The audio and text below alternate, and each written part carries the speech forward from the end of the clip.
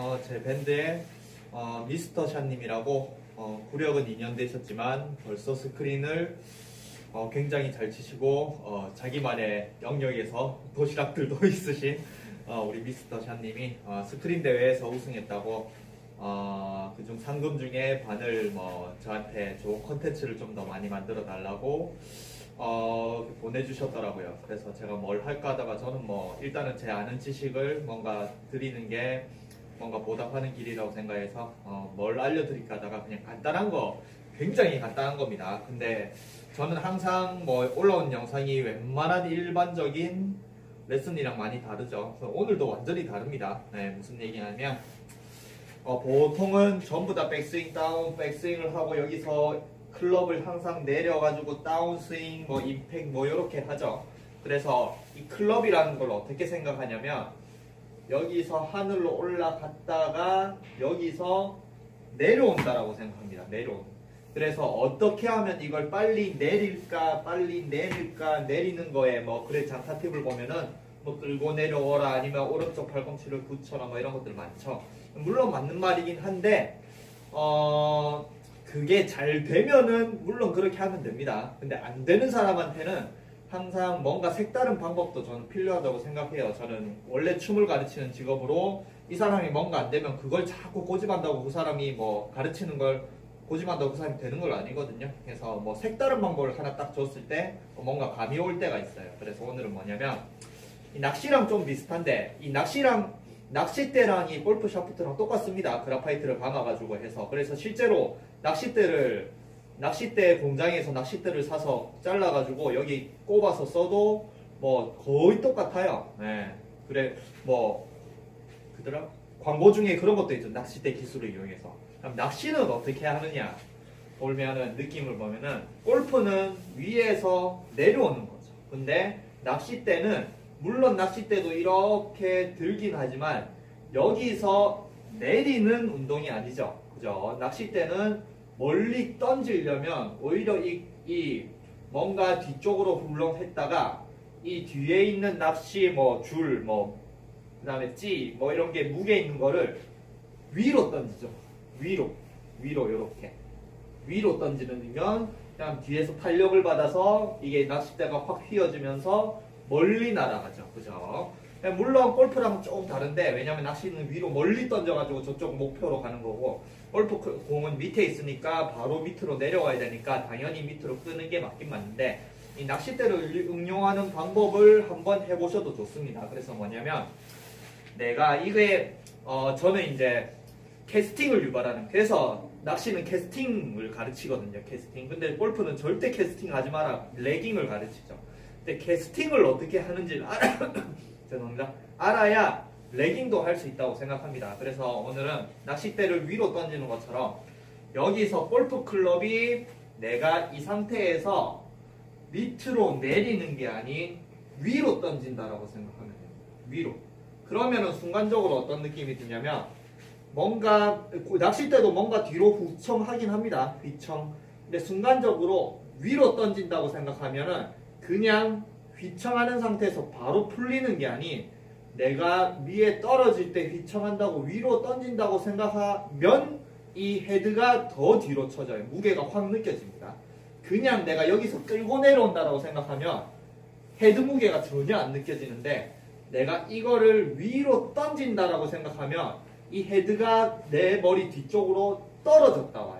이게 아마 뭐 프로님들이 말하는 헤드를 느끼라는 게 저는 정확하게 모르겠지만 저는 헤드를 느끼라는 소리가 뭔지는 잘 모르겠지만 어쨌든 뭔가 무게를 느끼려면은 내가 여기서 백스윙을 하고 이렇게 끌고 내려오면 아무것도 안 느껴지는데 내가 오히려 더 캐스팅을 한다고 생각하고 위로 던지면은 이게 뭔가 휘청하는 듯 샤프트 휘청하는 느낌과 이 헤드가 뭔가 뒤로 훅 떨어지는 느낌이 들어요. 그걸 이제 어떻게 골프 스윙을 어떻게 하면 위에서 잘 보세요. 이 백스윙에서 위로 탁 던지죠. 위로.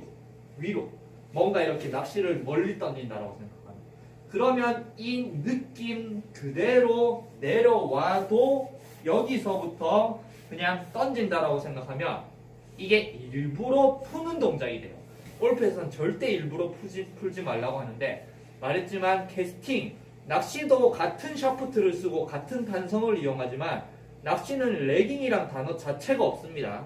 무조건 캐스팅, 캐스팅 방법. 그러니까 낚시 캐스팅을 검색하면 다양한 캐스팅 방법을 가르쳐주지만 골프는 아, 낚시 lagging이라는 단어 자체가 없습니다. 네, 그래서 캐스팅, 캐스팅을 하면 저절로 lagging이 되죠. 그 다음에 뭐 손목도 내가 여기서 뭐 야구 같은 경우도 공을 이렇게 손목을 푸는 방법을 가르치 손목을 어떻게 이렇게 더 유지하라 이런 건 아니죠. 손목을 어떻게 더 푸는 방법.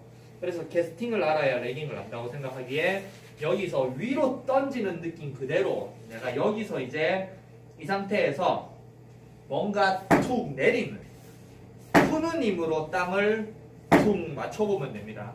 그냥 손목만 딱 꺾고 푸는 힘으로 이런 느낌. 그러면 여기서 잘 보세요. 내가 여기서 땅을 치 그냥 여기 반 코킹한 요 상태, 뭐 수평이 된 요 상태에서도 만약에 끌고 내려오는 게 그렇게 파워가 생긴다면 이 상태에서 만약에 끌고 내려온다. 그러면 땅이 한 요 정도 닿겠지만 뭔가 이 헤드가 공을 탁 땅을 탕 치는 느낌이 아닌 내가 그냥 요런 느낌 체중을 실는 것밖에 안 되겠죠. 근데 결국 이 헤드가 공을 쳐야 되기 때문에 헤드가 직접 공을 탕 때린다는 느낌은 여기서 끌고 내려온다고 생기는 게 아닌 여기서 그냥 바로 푼다라고 생각하면은 뭔가 헤드가 공을 땅 이렇게 맞추게 됩니다. 네. 그러면 내가 여기서 푼다라고 생각을 하면 이 각도에서 바로 이렇게 풀린다라고 생각하지만 내가 푼다라고 생각하면 풀 때 힘을 주려면 여기서 절대 이렇게 아닙니다. 내가 풀려고 하는 힘 자체가 더 꺾게 돼요. 왜냐하면 여기서 강하게 풀어야 되니까 여기서 그냥 내리면 강하게 뭔가 잘 안 풀리니까 내가 강하게 풀어야지라고 생각하면은 순간적으로 탕 올라갑니다. 이게 망치질이랑 똑같아요. 망치질도 내가 꺾어가지고 이걸 내리는 힘으로 치는 게 아니죠. 망치를 탕탕 치는 힘으로 치죠. 그래서 망치도 푸는 힘으로 치는데 망치질을 세게 하려고 내가 풀어서 좀 옷을 딱 맞추려고 생각하는 그 세지는 힘을 딱 주는 순간 푸는 힘을 주는 순간 손목을 더 꺾게 돼요. 그래서 푸는 걸 알 수 있게 되면 레깅은 저절로 되는데 골프에서는 전부 다 끌고 내려오라고 하니까 정작 푸는 방법을 모르니까 다 끌고 내려와서 여기서 그냥 이렇게 치면 헤드가 뒤에 쳐져 있죠. 네. 그리고 몸통을 항상 돌려야 되고. 그래서 슬라이스와 뭔가 채가 못 따라와서 채가 공을 못 맞추니까 뭐 거리도 부족하는 그런 것들이 다 유발된다고 생각합니다. 그래서 이거는 뭐 또 하면은 어떤 어떤 리플이 달릴지 모르겠지만 어, 그런 리플을 다는 사람은 자기는 잘 알겠지만 안 되는 사람한테 계속 뭐 레깅 레깅 어깨턴 어깨턴 해봤자 안 되거든요. 그러니까 밴드에 오시는 분들은 그런 것들에 너무 힘들고 스트레스 받아서 도저히 뭐 요 사람한테 배웠는데 요 똑같고 요 사람한테 배웠는데 어깨턴 해라. 요 사람 배웠는데 또 어깨턴 해라. 요 사람한테 배웠는데 끌고 내려와라. 또 바꿨는데 또 끌고 내려 똑같은 이론에 너무 안 되니까 오신 분들한테는 뭔가 색다른 방법을 알려드려야 그분이 고칠 수 있는 뭔가의 계기가 될 수 있다고 생각합니다. 그래서 이 상태에서 그냥 풀고 풀고. 그래서 조금만 올려도 내가 푸는 힘으로 땅을 세게 맞출 수 있는 다음에 조금만 더 올려서 풀고 풀고 또 조금만 더 올려서 풀고 풀고 조금만 더 올려서 풀고 풀고. 그럼 뭐 백스윙이 자연스럽게 되죠. 뭐 그냥 올려서 푸니까. 그래서 이게 전체적으로 풀고 풀고 풀고 풀고 풀고. 이렇게 되면은 그냥 뭔가 클럽을 이용하는 스윙이 되는데 여기서 내가 끌고 내려오라는 스윙이 되면 끌고 내려오고 끌고 내려오고 끌고 내려오고 끌고 내려오고 채는 어 상관없이 내 몸만 쓰는 스윙이 되겠죠. 네, 그래서 저는 이걸 굉장히 싫어합니다. 왜냐하면 이런 게 다 끌고 내려오라는 게 맞는 소리긴 하지만 그 맞는 소리를 저는 몸을 한 15년간 넘게 가르치 일반인을 몸을 15년 뭐 이렇게 넘게 가르친 사람으로서 내가 제가 아는 제가 맞다라고 생각하는 지식을 던져줬을 때 꼭 일반 사람들은 다른 동작을 자기만의 그 지식을 정확하게 이해하고 동작을 하는 게 아닌 자기만의 색다른 뭐 상상할 수도 없는 희한한 방법으로 만들어서 자기가 막 연습을 하거든요.